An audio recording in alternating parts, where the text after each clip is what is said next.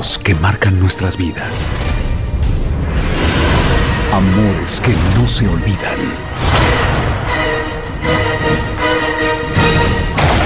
Decisiones que cambian el destino. Historias que hay que verlas. Para creerlas. Telemundo presenta a la mexicana que conquistó al mundo. Yo no creía en el amor. Vivía con miedo. Si alguna vez suena este celular, es que estoy muerto.